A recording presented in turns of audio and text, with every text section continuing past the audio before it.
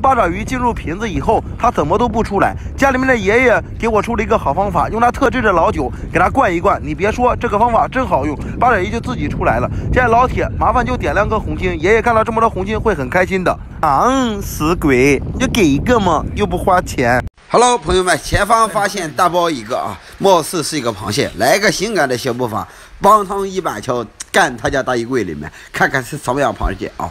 呃，如果是的话，给个双击，给关注啊！要不是就算了。哎呀，还真是个螃蟹嘞！嘿嘿，双击双击双击！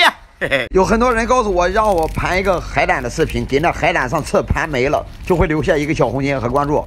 我今天呢，呃，给你盘了两个海胆，我一开始感觉还挺好，后来发现这这玩意儿我盘不了，真的扎手。不行，我不要那小红心，你自己盘吧。喜欢你就给个关注。来了，兄弟姐妹们啊！八爪鱼的天性，它就是喜欢进洞啊！不管你是大洞还是小洞，不管你是啤酒、饮料、矿泉水瓶儿，嘿 嘿嘿，它都是能进去。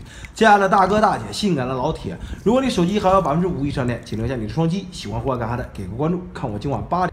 这只皮皮虾就比较的笨啊，一头扎进了锅里面啊，成了椒盐皮皮虾。而这一只呢，比较的聪明，屁股一翘，哎，游回了大海。紧随其后的应该是他的兄弟，比较的傻。嘿嘿，有些人看到这么好玩的视频，他回头就给你点个红心；有些人呢，默默点了关注，看我赶海直播。